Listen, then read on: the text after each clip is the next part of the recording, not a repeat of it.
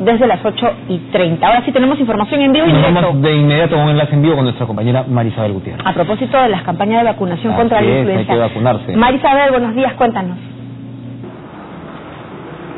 Buenos días, gracias Jennifer y Enrique. Me encuentro en el Centro de Salud San Sebastián porque se ha iniciado la campaña de vacunación en contra de la influenza, este virus que se registra mayormente en la temporada de invierno. Justamente me encuentro con el doctor Washington Toledo para que nos refiera qué personas están aptas para que reciban esta dosis.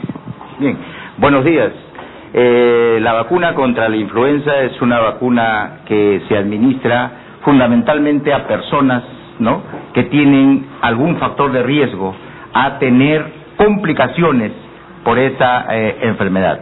Por ejemplo, tenemos los niños de 7 a 23 meses, todos ellos deben recibir su vacuna contra el virus eh, de la influenza. La población de 65 años a más también son candidatos a ser vacunadas en su totalidad. El otro grupo importante de población que tiene un factor de riesgo son las personas de 2 a 64 años. Toda esa población que tenga alguna enfermedad crónica, del corazón, del riñón, del hígado, es hipertensa, asmática, diabética, obesa, tiene que vacunarse en estos momentos. El otro grupo importante eh, es la mujer gestante. La mujer gestante a partir del cuarto mes también tiene que recibir su vacuna y finalmente el personal de salud.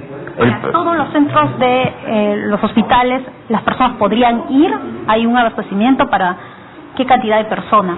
Sí, prácticamente la vacuna, tanto para la pediátrica o los niños y adultos, ya está distribuido a nivel nacional. Todos los establecimientos, como usted ve, ya tienen la vacuna y puede la población que he indicado acercarse a vacunarse. Es en esta temporada de invierno justamente en la que se registra. Hay un tipo, tipo de brote ya acá en Lima. En general, los, los casos de influenza se producen eh, durante todo el año.